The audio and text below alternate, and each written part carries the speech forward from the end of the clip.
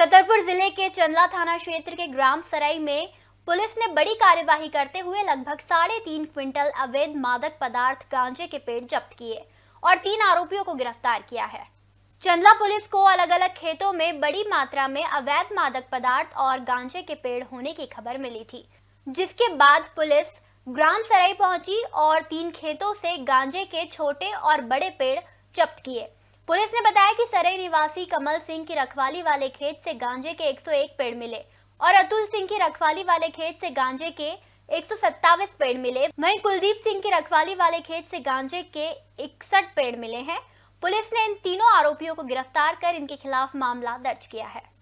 बाईस तारीख की घटना है चौकी बचपन क्षेत्र अंतर्गत गाँव है, जहाँ पर हमारी टीम ने दबिश दी और गांजे की खेती पकड़ी है। इसमें तीन लोग आरोपी बने हैं।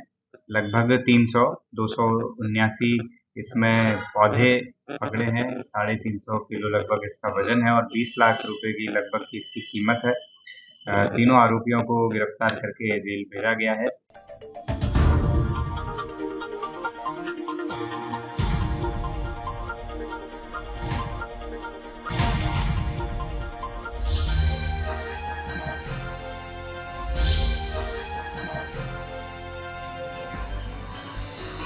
आप देख रहे हैं दखल न्यूज़।